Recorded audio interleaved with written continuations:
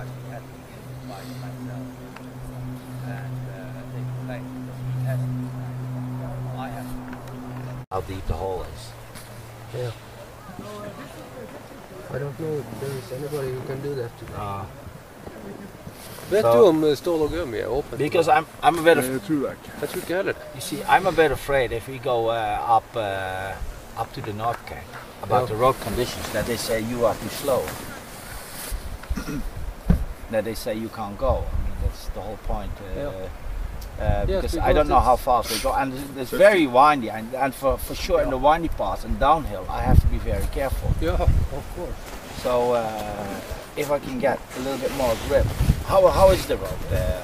there? Uh, It differs. It, it's A little Yeah. ice and a little asphalt. ice, snow, it differs all the way. It, it depends on the weather on the also wind. because yeah. we had a lot of wind and then uh, Yes, some and parts then, uh, get really then snowy from the from the mountain. Yeah, uh, but there, is there a snow plow in front? Yeah.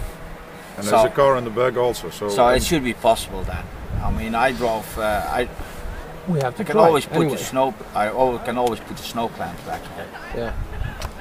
En niet direct achter de sneeuwschuiver aan. want. Dat heb ik eh, in één stuk gereden, dat is echt niet te doen. Gummi. Dan, dan rij je af en toe gewoon echt ja, secondes lang. Ja. Ja?